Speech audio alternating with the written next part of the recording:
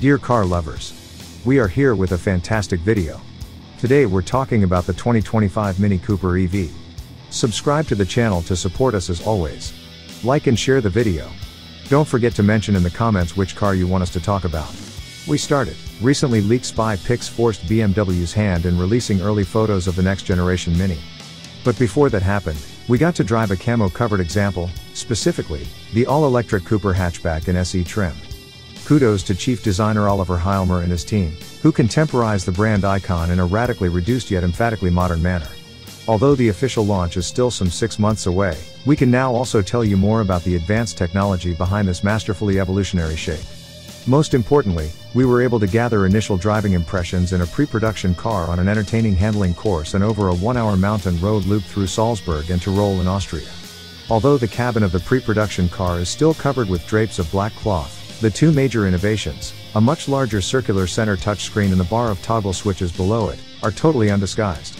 The latter contains five elements, parking brake button, gear selector, volume knob, on slash off toggle, and driving experiences selector. Since there is no minder in the passenger seat, we leap from the default core setting straight to go-kart mode. The name says it all. Go-kart speeds up the action, reduces driver assistance to a minimum, and sharpens the feedback. Not enough drama? Deactivate Dynamic Stability Control, DSC, and brace yourself for an ample measure of liftoff oversteer enhanced by a device known as GMV, short for Yaw Moment Enhancer. The handling course is a short track, and our hosts set up plenty of cones to slow us down, but a couple of corners are wide enough to pay homage to the rally professor, Rauno Aaltonen, who competed in a Mini Cooper as heavy rain and near freezing temperatures warrant interesting grip levels. There is an entertaining angst-inducing right-left right-up and down corner combination to be mastered, and the guy in the JCW lead car lets it all hang out for the heck of it. Good man. Front-wheel drive is, of course, a limiting factor through the lone 180 degree bend, where the two bad choices are either too much understeer or too little traction but as soon as the 243 pound-feet of instant torque grabs the tires, the Mini picks up speed quickly and keeps accelerating seamlessly until that blind right-hander calls for a change of direction, velocity, and balance. This is fun, and we're still only going 7 tenths. Feeding the electric motor is a 53.0 kilowatt-hour battery, which in real life needs to be recharged every 200 miles or so. No provisional EPA consumption figures are available, but tentative European estimates suggest the US model will be rated considerably better than the 110 mH rating assigned to the current SE. That said, after 15 laps in full hooligan mode, the onboard computer dropped to 29.5 kilowatt hours of remaining charge. Never mind.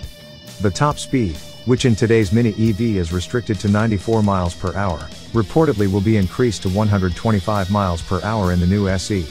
Acceleration from 0 to 62 miles per hour is a claimed 6.7 seconds, which suggests the new one won't be substantially quicker than the last Cooper SE, a 2020 model, we tested.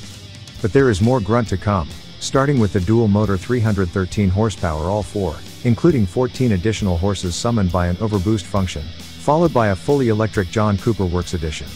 Meanwhile, the Cooper SE keeps on drifting through every corner it can find with the tail-out antics actively supported by the aforementioned GMV, which is a welcome addition.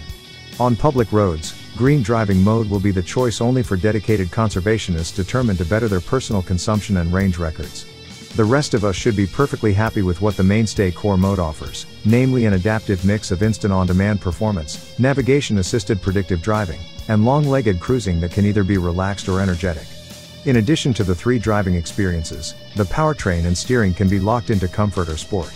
As far as the stability control system goes, the spiciness scale ranges from sport to sport plus to DSC off. Customers also can choose from four different wheel sizes and opt for a sportier suspension setting.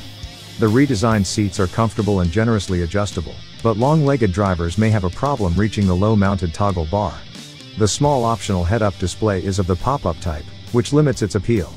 Although the three-spoke steering wheel is studded with buttons and multi-mode switches, the main user interface is the notably larger round touchscreen in the center of the dash.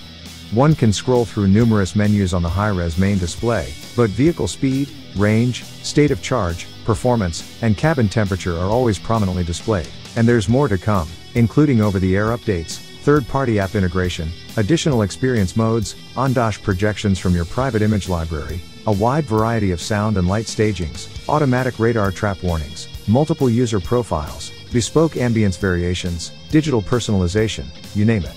In addition to four different new trim levels, Mini is going to introduce at least three mood settings provisionally named Calm, Heritage, and Vivid, which are supported by 3D Technicolor orchestration. Too much marketing BS? Thankfully, the unique driving experience remains. After all, dynamics always were and still are Mini's main forte. The new battery-powered Cooper SE is chuckable yet composed, concurrently involving and balanced, refined but never lackluster. Silence that puerile soundtrack and enjoy the trademark handling and road holding qualities Sir Alec would be proud of.